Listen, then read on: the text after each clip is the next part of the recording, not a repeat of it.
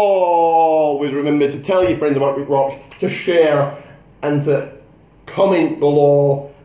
Smash that people's bell to get all my notifications.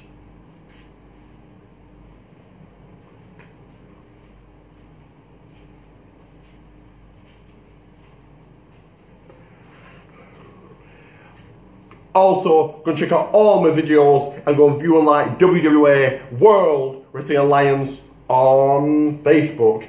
As you can see, I'm still here in sunny Egypt, in hot Egypt, in the people's Egypt, in Rick the Rock's Egypt. And they're trying to find that jabroni who took my WWE Hardcore Cena style title. I can't find him, but I'm going to. But this is this week's NXT and 205 Live review. So we'll start with NXT first. So on NXT, Nikki Cross, Nikki Cross, sorry, came out and talked, and then Ruby Riott came out and they brawled. It's a good way to kick off NXT.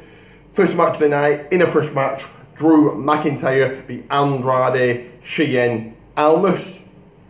Your next match, in a fresh match, Aleister Black beat Connor or Corner Reeves.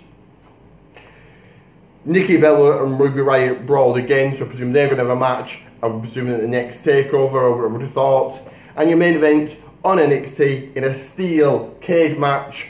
So the first ever steel cage match on a proper NXT rather than a, a takeover. Tyler Dillinger beat Eric Rowan, so big win for Tyler Dillinger there. Now I presume that's the last ever match on NXT. He's now on SmackDown on 205 Live.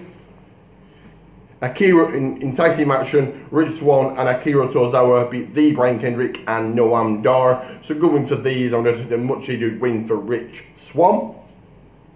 In singles action, Tony Nese beat Mustafa Ali by DQ again. Much needed, much needed win for Tony Nese. And your main event on 205 Live, Cruiserweight Champion Neville beat Gentleman Jack Gallagher. So that builds momentum for Neville heading in, or continues to build momentum for Neville heading into payback this Sunday. So give both NXT and 205 Live a big five people stars out of 10.